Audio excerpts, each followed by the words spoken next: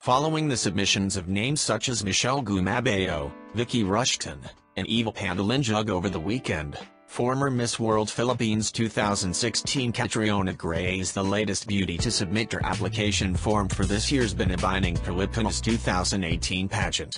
In photos posted by pageant blogger Norman Tinio, Catriona was spotted holding a bouquet of flowers in her application form for the pageant on her Instagram account. Catriona wrote, Are you ready for it? Today marks the reveal of an evolution of self that has been quietly happening away from the public's eye for a little while now.